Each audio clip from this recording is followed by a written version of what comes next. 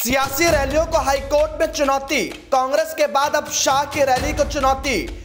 अमित शाह की रैली की याचिका पर दोपहर दो बजे सुनवाई। एम एम श्रीवास्तव की खंडपीठ करेगी सुनवाई। कांग्रेस की रैली पर 6 दिसंबर को सुनवाई। शाह के दौरे और कांग्रेस की रैली को निरस्त करने की मांग।